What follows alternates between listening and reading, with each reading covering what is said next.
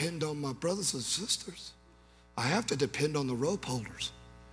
And now they're lifting me up. Here we go. Ooh, wow. Ooh, ooh, ooh, ooh.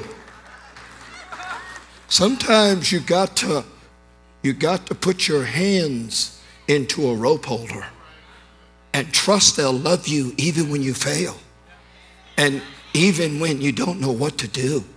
I believe in you, church. I'm not going to leave you. I know that you're going to hold on and be strong for me with prayer and love and and and faith and determination. You know what happened? You're going to love this. When they let him down to Jesus, Jesus never got upset because they tore the roof off. Jesus was so impressed, the first thing he said, Your sins are forgiven.